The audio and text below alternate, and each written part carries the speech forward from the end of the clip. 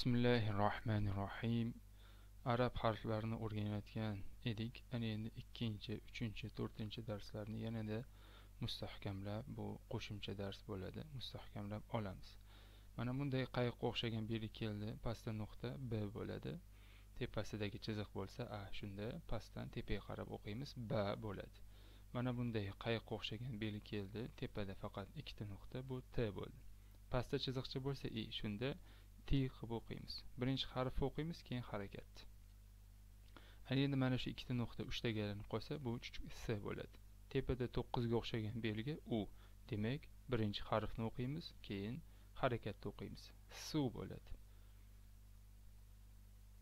Hop mana boshlaymiz o'qishni sa a b.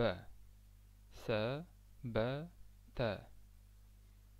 B t D B E C.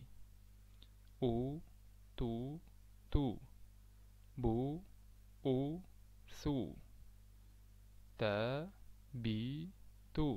Ikkita nuqta bo'ldi. Shuning uchun t o'qidim. Bu yerda bitta nuqta pastda shuning uchun b. B deb o'qidim. I mana bu alif harfi edi. Alif i deb o'qimaymiz. Alif ushlab kelgan harakatda o'qiymiz bo'ldi.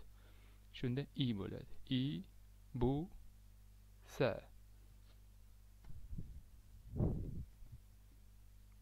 sa bo'ladi ta ti i. Bi su se a ba ti si i ba tu su i. Keling bir o'yin o'ynaylik man harfga sichqonchani olib kelaman. Olib kelishim bilan kim birinchi harf etish o'ynaymiz? Man to'g'ri ozgina bilganim uchun ozgina ikki soniya kutib turaman. Boshladik. Bu tu bi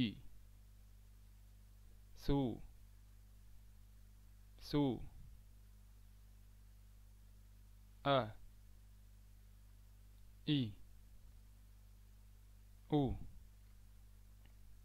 Tu ikkita nuqta Tu T deb o'qiymiz